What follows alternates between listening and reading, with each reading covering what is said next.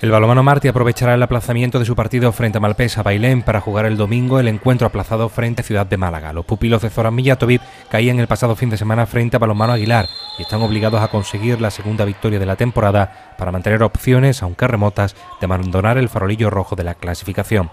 Los martineros tan solo han sumado una victoria en ocho partidos, mientras que el conjunto malagueño, que jugará el sábado frente a Balomano Aguilar en casa, suma cinco victorias, un empate y cuatro derrotas en los diez encuentros que ha disputado. El Ciudad de Málaga se encuentra cuarto clasificado a tan solo un punto de dos hermanas Algeciras y Montequinto, trío que encabeza la clasificación de la segunda provincial.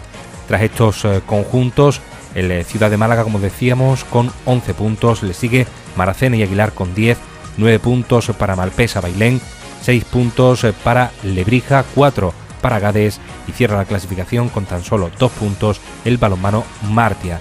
Esta jornada se ha aplazado el partido entre Malpesa y Martia al ir convocado un jugador de Malpesa Bailén con la selección chilena en un campeonato mundial que se está celebrando en España. Otros encuentros serán los siguientes.